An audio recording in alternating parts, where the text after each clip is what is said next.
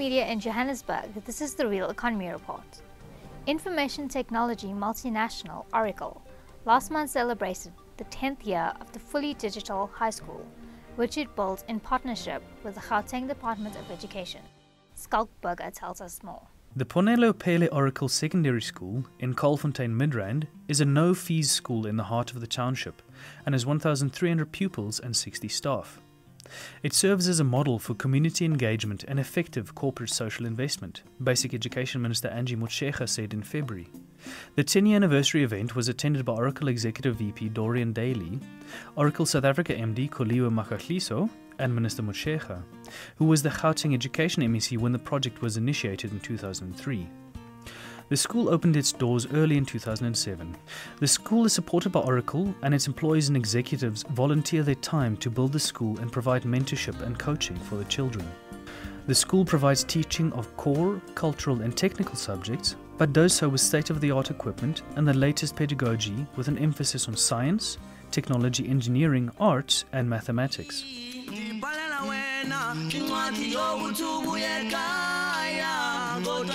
Kodwa ngithola impendulo ngibhalela wena. Unxeba wokuthi ubuye ekhaya kodwa ngithola impendulo ngibhalela wena. Awundibhalela wena awundibhalela wena awundibhalela wena.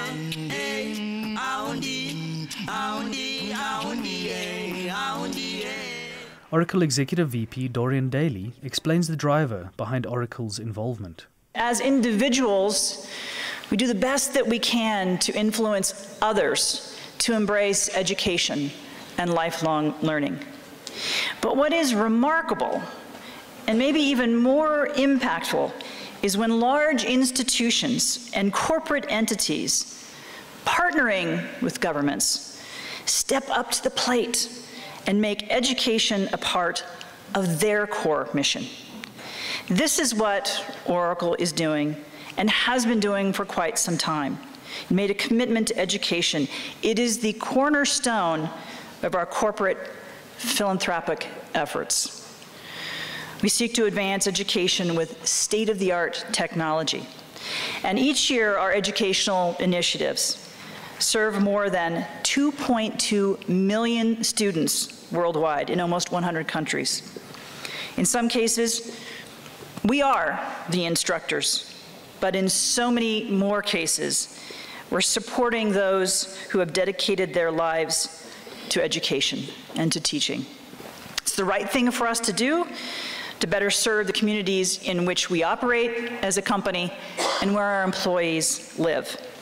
Because we believe education is a prerequisite to community stability, educational prosperity, and future innovation to tackle all those challenges that will inevitably face us in the future.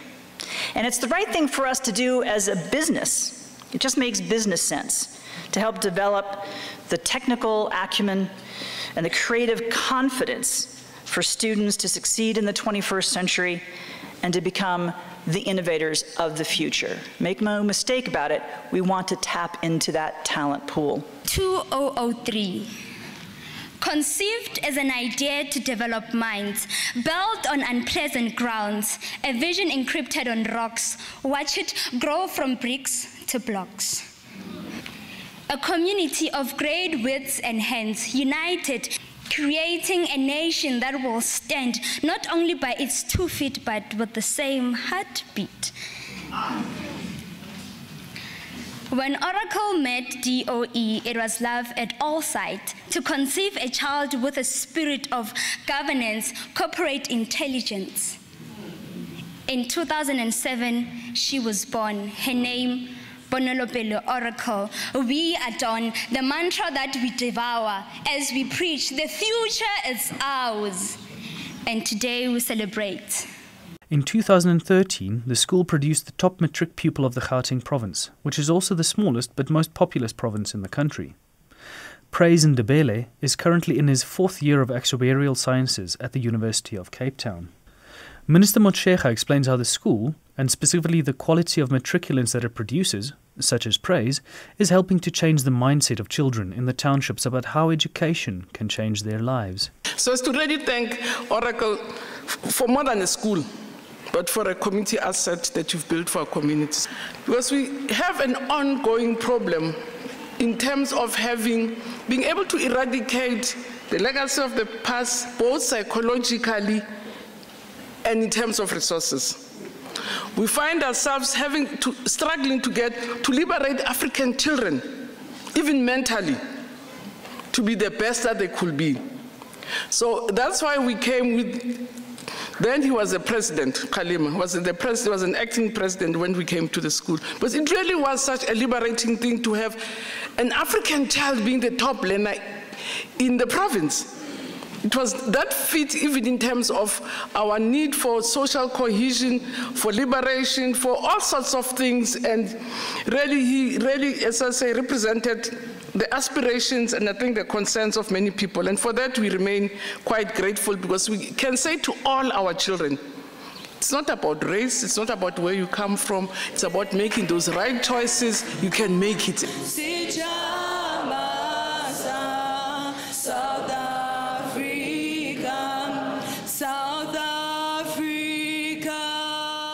Other news making headlines this week Aveng to seek shareholder backing for sale of Grinaker LTA stake to Kutana in March, and new panel established to guide Gauteng on infrastructure projects.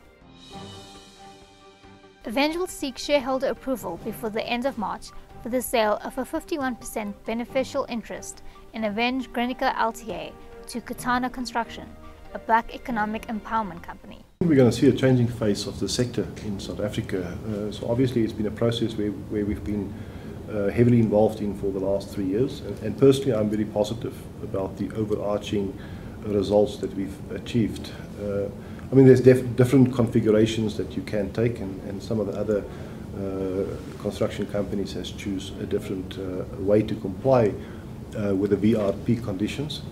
Um, we have actually went on the process of transforming Grinaker for, for a number of uh, years. The problem that we were at substantial losses. We're at the point where we have uh, basically turned around Grinaker LTA and we are much better placed to do a transaction where there's likelihood of future success. So um, we will go to shareholders in a month or so to get approval for that transaction. Um, we are doing it with Kutana, Kutana uh, Construction but also we will include in that configuration a range of current contractors uh, um, in the shareholding structure. The Gauteng provincial government has established an economic advisory panel to advise it on the rollout of social and economic infrastructure projects planned for the next two years. Over the next two years, we and the mayors will work together, and I want to repeat the call I have made to the mayors that let's work together to fast track the rollout of infrastructure projects that have long-term benefits and that have been planned over a long period of time in the following areas. Firstly, in the area of public transport and logistics, we have projects that have long been planned. In the area of housing and human settlements, in the area of renewable energy and other energy projects, in the area of ICT and broadband, in the area of government precincts, including the Kopanong precinct, in the area of water and sanitation, in the area of health infrastructure, especially to ensure that there are community-based centers which must help to strengthen primary health care, to take care of all the vulnerable in our communities. That's Creamer Media's Real Economy Report. Join us again next week for more news and insights into South Africa's real economy.